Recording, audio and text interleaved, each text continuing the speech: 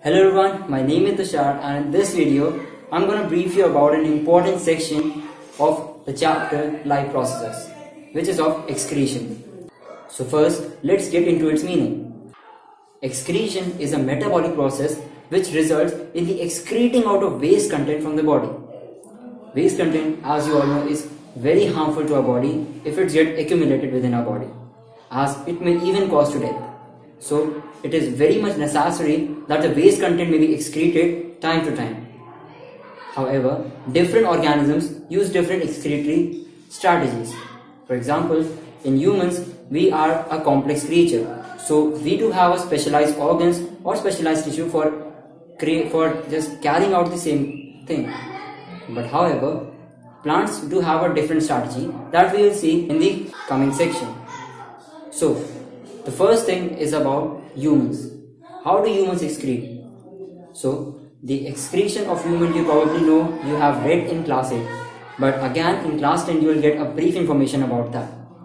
First, let's get into it content. What do contents the excretory system in humans have? First, we have a pair of kidneys, a pair of ureters, a urethra and a urinary bladder. So we all know that the kidney helps in the purification of blood or in the filtration of blood so that the blood may be purified time to time and the weight and the waste that is accumulated is excreted out by transposing into the urinary bladder and then after that expelling out. So this was the whole system that goes on. But the main thing is how a kidney purifies the stream of blood. So in kidney there are many filtration units and that are called nephrons. Nephrons are actually scattered all over the kidney and helps in the purification of stream of blood. So when the stream of blood enters kidney, nephrons get active and results in the purification of blood and accumulating those waste content for some period of time and at last transposing it to the urinary bladder and then after that expelling out. This is how the process is carried out. And as well as when the blood is being cleaned, uh, glucose, the amino acids, the salts and the water are reabsorbed by the body. So this was all about how excretion takes place in humans. Now let's take an example that if your kidney fails, what would you do?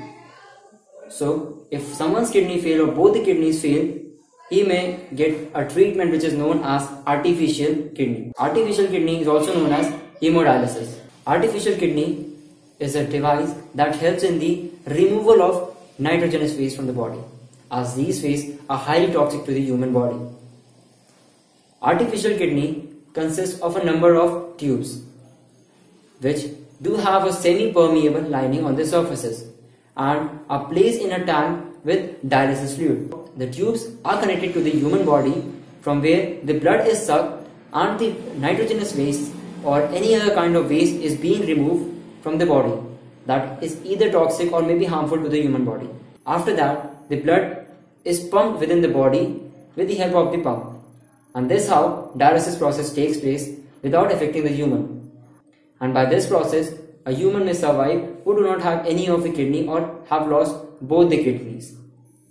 So this was all about human excretory system, how it works, what are the main things and how if any of the kidneys got damaged or both the kidneys are not present, how a human can survive.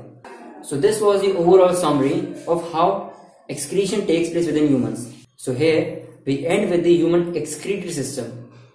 Now moving on to the plant section. How do plants excrete? Do you have any idea? We have already read in the beginning of the chapter.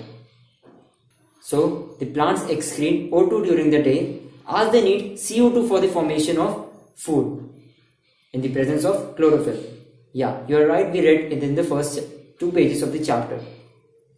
So, in the daytime, for them, O2 and water is actually a waste.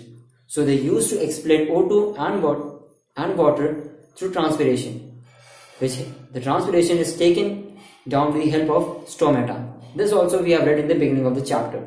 By stomata, the O2 is released or the oxygen is released by the help of diffusion same, the water is also removed as if there is an excess amount of water present in the leaves.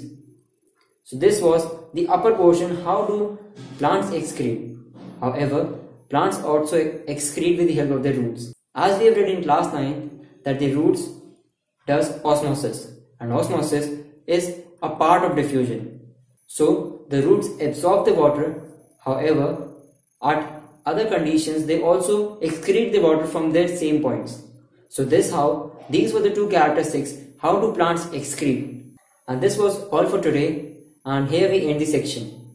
I hope you would have understand each and everything of this chapter.